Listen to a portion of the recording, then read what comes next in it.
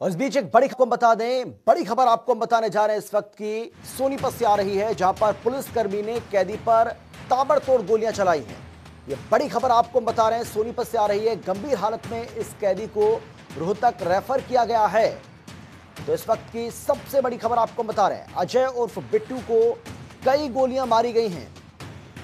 कैदी को पेशी के लिए कोर्ट लाया गया था और इसी दौरान ये वारदात हुई है तो पुलिसकर्मी ने कैदी पर ताबड़तोड़ गोलियाँ चलाई हैं, जिसके बाद वो गंभीर रूप से घायल हो गया और उसको अब रोहतक रेफर किया गया है। जनता टीवी पर ये एक्सक्लूसिव तस्वीरें आपको हम दिखा रहे हैं। अजय उर्फ़ बिट्टू को बताया जा रहा है कि पुलिसकर्मी की ओर से गोलियाँ मारी गई हैं। जनता टीवी पर ये एक्सक्लूसिव तस्वीरें आपको हम दिखा रहे हैं।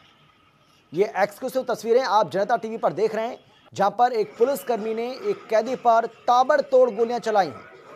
जिसके बाद ये गंभीर रूप से घायल हो गया कैदी और उसके बाद उसे रोहतक रेफर किया गया है, जहाँ उसका इलाज चल रहा है। अब इसकी वजह क्या रही है कि पुलिसकर्मी ने इस कैदी पर क्यों ताबड़तोड़ गोलियाँ चलाई?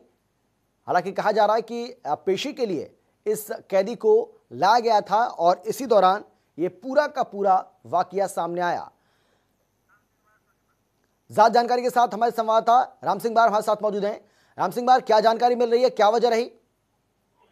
हाँ देखिए, ये एक आरोपी है जो रोहतक से सोनीपत सोनीपत कोर्ट परिसर लाया गया था और यहाँ पर जो कोर्ट परिसर में ले जाने से पहले ही पुलिसकर्मी ने जो है तीन गोलियाँ करीबन बताई जा रही हैं। उसके सिर में तीन गोलियाँ मारी हैं और मौके पर, हालाँकि उसकी गंभीर हालत जो है अभी बताई जा रही है और ये अभी उसको रोहतक रेफर कर दिया गया। फ़िलहाल जो जानकारी मिल पा रही है जो आरोपी है, आरोपी जो है रोहतक जेल में कैद था और वहाँ से किसी मामले में उसको सोनीपत लाया गया था।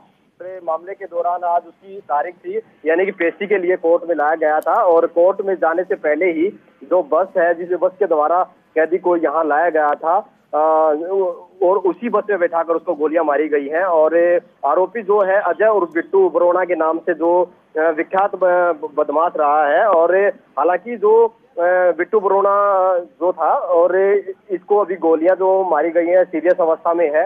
रोहतक के लिए रेफर ज़रूर कर दिया गया है। लेकिन जिस प्रकार से कोर्ट परिसर में गोलियाँ चली हैं और एक पुलिसकर्मी द्वारा यानी कि सुरक्षा का जिस पर जिम्मा होता है वही गोलियाँ चला रहा तो इस पे क्या अन्य लोगों पर असर पड़ेगा ये देखने वाली बात है ये समझने वाली बात है। जी। बिल्कुल।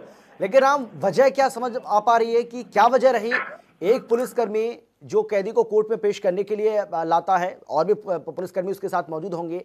ऐसे में वो ताबड़तोड़ गोलियाँ उसके ऊपर चला देता है तो क्या ये कैदी भागने की कोशिश कर रहा था या कोई और वजह थी या आपसी कोई इन दोनों का मामला था या क्या वजह क्या रही? देखिए बेहद चौंकाने वाला मामला है बिल्कुल अभी कारण का जो है पता नहीं लग पाया है, लेकिन जिस प्रकार से गोलियाँ मारी गई मारी गई हैं, तीन ताबड़तोड़ गोलियाँ जो है चलाई गई हैं इसके पीछे कोई खास कारण, कोई बड़ा कारण ही रहा होगा जब पुलिसकर्मी जो है सुरक्षा का जिम्मा जिसके कंधों पर है, और वही जो है कैदी पर गोलियाँ चला रहा है तो ये देखने वाली बात है। चलिए, जैसे कोई अपडेट होगी, एक बार फिर से राम आपके पास ज़रूर आएँगे। फ़िलहाल आपका बहुत बहुत शुक्रिया इस तमाम जानकारी के लिए। तो जनता टीवी पर ये एक्सक्लूसिव तस्वीरें आपको हम दिखा रहे हैं, जहाँ पर एक पुलिसकर्मी ने एक कैदी पर ताबड़तोड़ गोलियाँ चलाई हैं। जब उसको कोर्ट में पेश करने के लिए ले जा रहा था। इस वक्त